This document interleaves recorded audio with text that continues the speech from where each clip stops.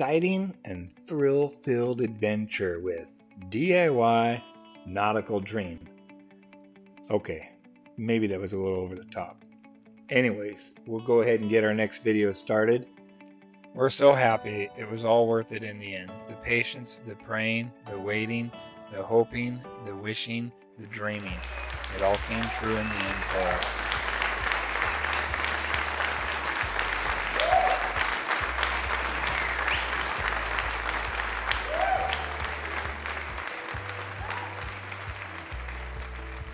From here atop Mailbox Peak, welcome back to another episode of DIY Nautical Dream. I'm Priscilla. And I'm Rich. Together, Together, we Hey. make DIY Nautical Dream. And we struggled to get up here. This was not easy.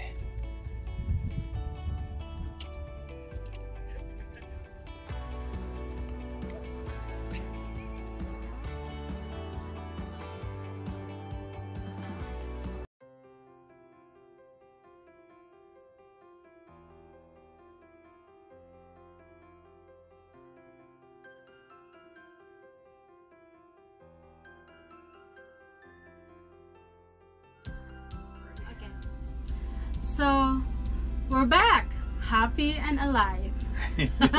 we survived that one, didn't we? yeah.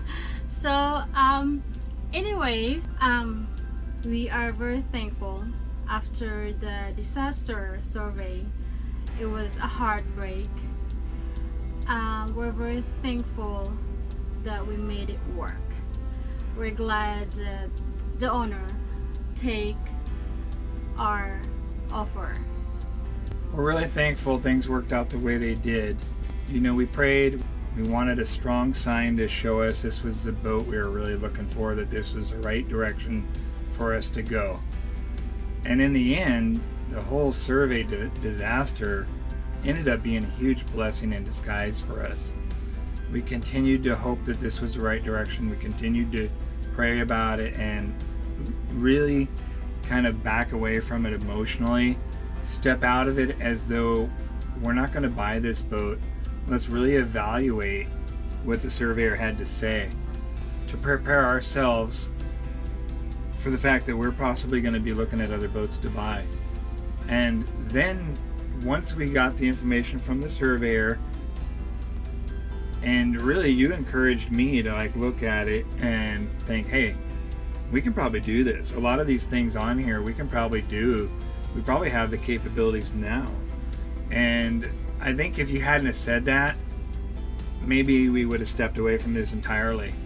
But when you said that, it kind of like surprised me. And it reminded me that we do have the ability to learn to do things Mm-hmm. and we have the ability to try and we don't quit. We don't give up. In fact, if it was easy, we wouldn't be doing it. And this is one of those situations where, based on what you said, based on the surveyor, we stepped away, regrouped our thoughts, and we came at this from a different angle. And we were able to renegotiate the whole entire purchase contract. And in the end, we were able to move forward with the purchase of this boat we got our emotions out of the purchase process and we were able to move forward with it and renegotiate. Once we came back with the information that the surveyor had written down, got together back with the broker, he in turn got a hold of the owner of the boat and told him that we renegotiated based on what we learned on survey day. And the owner had to think about it and consider if they wanted to come down on the price of the boat which eventually they did, but we didn't know they were going to accept it or not. So we basically had to get in that mindset that this is done for us. Yeah, it's You know? like hanging up in the air with no conclusion. So we had to let it go. We had to totally let it go and see if it comes back to us, to see if the offer is meant for us, if the boat is meant for us, if the deal is meant for us. But anyways, this whole process takes six months, right? Start to finish, Six from the very first time we looked at this boat to the day that we signed papers on this boat was a little bit more than six months. We went to this boat three different times before this was all said and done and looked through it. Uh, we're gonna show you our beautiful boat. Yep. We're going to show you a walkthrough of the interior of our beautiful new to us boat. She's very rough around the edges. She needs a lot of love and care and TLC to get her back to being a thing of beauty again. Uh, we know this is a large project. We know that we bit off a big bite.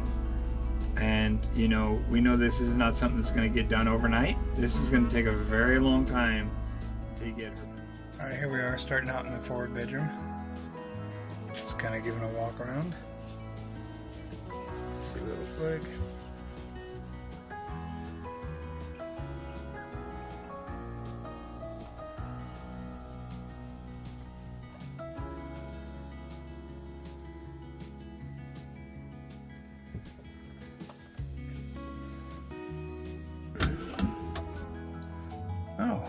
Got some life jackets.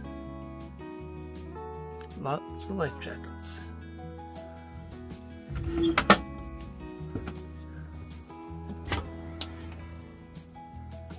Nice storage area there. Okay. Lots of storage. Not a bad size bed.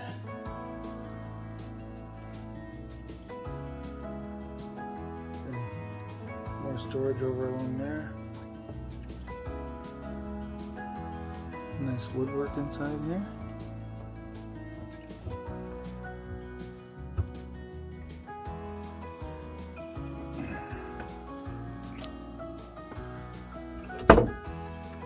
Okay. I'm gonna start heading aft. If you look at the floor, the floor is really nice looking in here.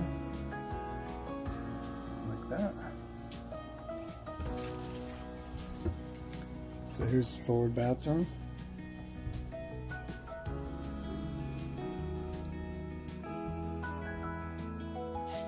Then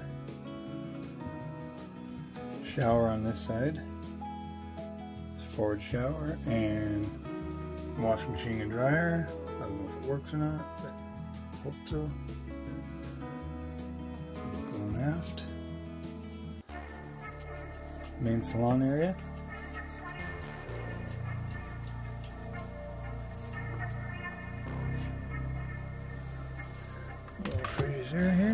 Ice maker.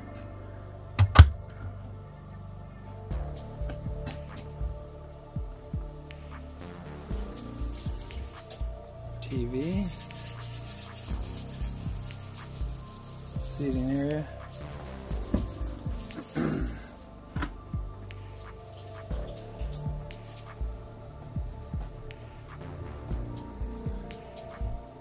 Very roomy main salon area.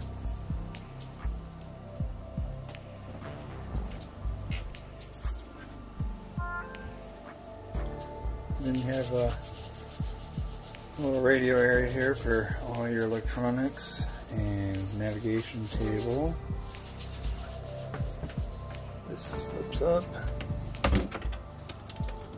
And storage under here. Nice collection of radios. I know how one of them works. The rest, not so sure. But anyways, we'll figure it out. Nice little Bose speakers throughout the area here. And little TV. The headliner here obviously is going to need some attention. Uh, that's caused due to some leaks and also the windows.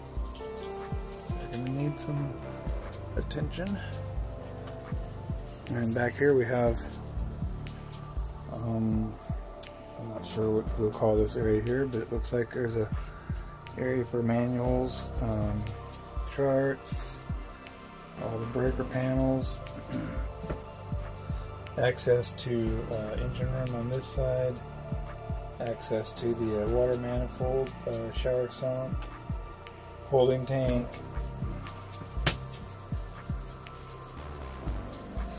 Now, on some of the some of the other models of the 52, this is actually a sleeping area with bunk beds in it.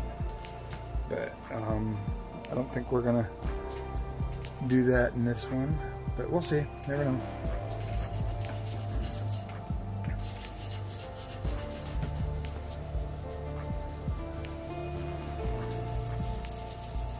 One thing about it right now, this time of year, it's very cold inside here. So start working our way backwards, back a little bit more. This here is uh, freezer. It's either the freezer or the refrigerator. Not sure yet, but it does work. We have them turned off right now, but we were running them, ran them yesterday. And then over here is a another one. Lots of room in there.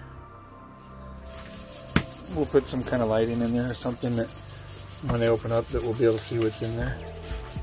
And then uh, got all kinds of uh, storage space for glasses and uh, we'll be getting rid of all these.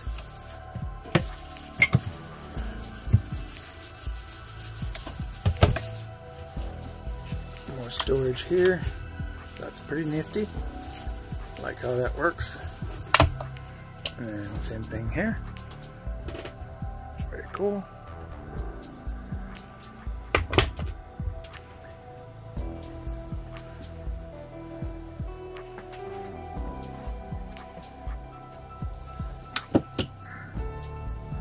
More storage in there. Not sure what we're gonna do with this area here, but it's nice, but I don't know. We don't drink, so I don't know what we'll do with this, but we'll put something in there. We'll find a use for it. A little sink here. Works. And we'll start walking aft.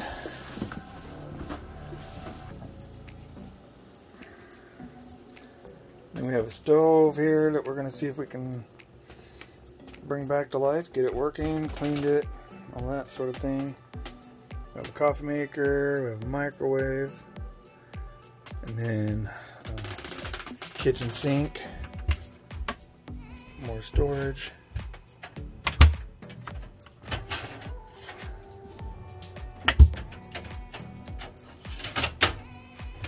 That sink looks like it's cleaning up okay, huh? Yeah. That's good. Have more storage here. And then over here we have, uh, this is our access to the engine compartment.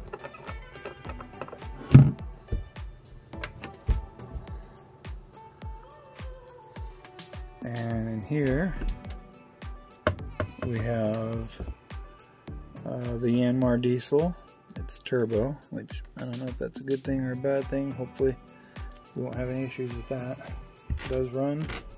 And then we have our generator right there. We have a hot water heater. We have water maker. Don't know if it works. I have zero experience with that, so a lot of things to learn about here. Mm, not sure what all that is back there. I, I believe that's the uh, the water pressure pump for the water maker to force the water through the membranes and all that. But I'm not sure. So the one thing that I have not been able to find so far are the battery master switches to turn on and off the power to the boat. Uh, they do have a, a switch right here, but I'm not sure that's the battery master. I think that's just to turn power on and off to the engine but, or to the starter system. We have some storage back here. Oh, looks like we do have an extra spare float switch for the uh, bilge pump. That's cool. And then uh, we have a pressurized water system pump right there. Probably going to be replacing that because it's uh, only working intermittently right now. We'll see. We'll see how it goes. Seems to be working today better than it was yesterday, so we'll see what goes on with that.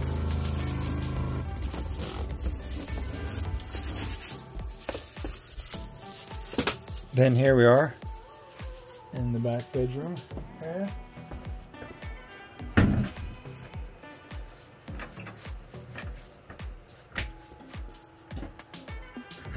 So right now, like I said, it's really cold in here. So we have the heater running back here. And we only run it while we only run the heater while we're here on the boat. So just want to keep it nice and somewhat warm while we're in here. So find a better way to heat it up in here once we uh, get going on this project. We're just trying to figure things out for right now. So the back bedroom, uh, obviously there's been some water leaks back here. Um, we're gonna fix it. We gotta pop the windows out, reseal them, and then uh, redo the wood paneling behind it. It looks worse than it is. It's really not gonna be that bad of a job. So uh, I have plenty of uh, teak veneer already, so we'll, we'll just re-veneer the plywood. And uh, once the windows are rebedded, that'll take care of the problem there. Same thing over here. Just about every window in this boat has uh, leaks or is going to leak soon, so we'll take care of them all. And then back here, we have a nice little locker area for putting some clothes or whatever in here. Not too bad. But yeah, that's pretty much, it's good, good storage. Oh, let's see if that works. No. We'll figure it out. Anyways, I like the wood. Um, it's got nice wood trim around here. Uh, the bed's all right. I wish I wished it didn't taper in at the foot of the bed, but it does. So we'll just go with that. But it's cool. We got the windows in the back here. Um, everybody knows we've been looking for a boat with windows in the back. These ones here, I'd like to open them up a little bit bigger. But we'll see how it is. We'll pop them out, rebed them, and decide at that point. Uh, looks like somebody changed a headliner out back here at one time. Um, we're going to put something nicer back there, but it's not high on the priority list right now. And then uh, there's a nice little uh, vanity here for baby. She can do all her little vanity activities, whatever that ends up being. And then here's the room. Nice little sink. It's kind of cool. I like these. These uh, hand painted sinks. You can get them online from they're from Mexico. I think we're going to change it out and put a green one in here, but we'll see. We'll use it for now. It's not on the priority list. And then uh, this is where all the thought goes into the day. So make sure the decision maker stays working. And then uh, back here, nice little uh, shower tub area. Kind of interesting. It's bigger than the one that we have on our other our current boat we have now, so that'll be cool. Anyways, nice wood flooring throughout. Probably put some uh, carpeted mats down because this is going to be cold to walk on. But anyways, and then uh, there's engine access back here as well, and then down here is access to the right there propeller shaft um, output. That's gonna need some new clamps on it. One of them I noticed yesterday is broken, so I'll have to take care of that before we put it in the water. So lots of projects, lots of boat. And we'll come back, go forward here again. Go all the way forward. Do a little walkthrough.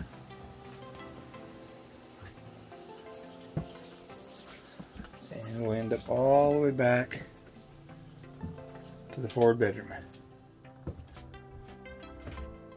where we started. Anyways, that's it. And we'll show you more later. Uh, but this is what we were looking for. We were looking for a project boat the whole time. We it's not like we lowered our standards or anything like that. This is exactly what we wanted the whole time. We wanted a project boat. All the boats we looked at were project boats. None of them were turnkey. This is this fits the bill for us. I think everything's just happened for a reason. Yep.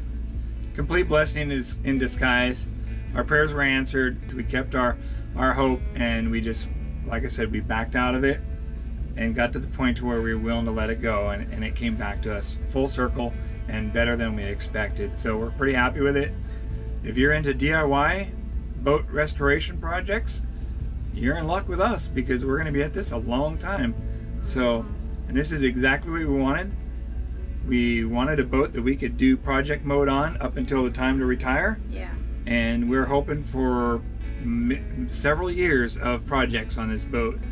Thank you for watching. Stay tuned to our DIY and we're very excited to show you guys the update or all the projects that we're gonna do to this boat to make it beautiful again. Right.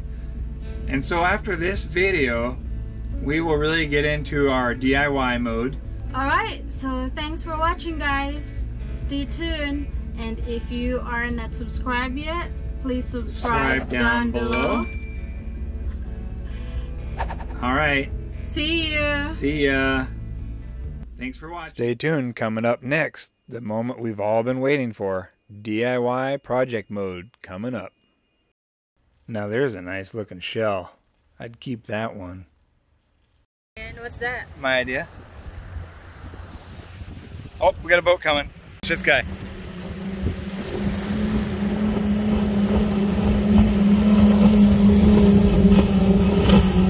Nice. Dang.